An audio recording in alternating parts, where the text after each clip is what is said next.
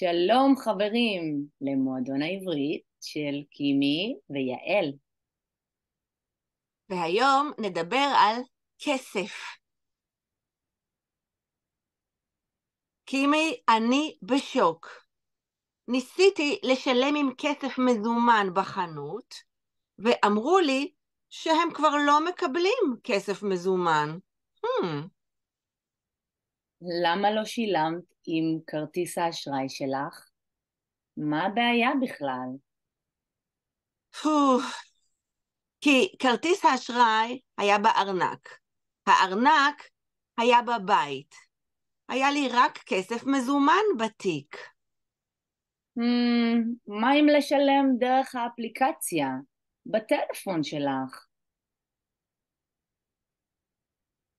דרך הפלאפון? אמ, אני מעדיפה לשלם עם כסף. בשביל מה יש כסף? כן, אבל העולם משתנה. יש כל מיני דרכים לשלם היום. אפשר לשלם בכרטיס אשראי, באפליקציית PayPal, בהעברה בנקאית אונליין. בישראל כולם משתמשים בביט.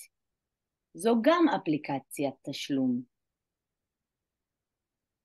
אני יודעת שאני נשמעת כמו דינוזאורית, אבל בלי כסף אמיתי, פיזי, איך נוכל ללמד את הדור הצעיר על, ה- על המשמעות של כסף? אה, טוב, יאללה. גם אני צריכה ללכת לקניות עכשיו. אולי תביאי לי את המזומנים שלך. אני מבטיחה להחזיר לך קצת עודף. So now that we've spoken about money, we hope that you feel much richer for it.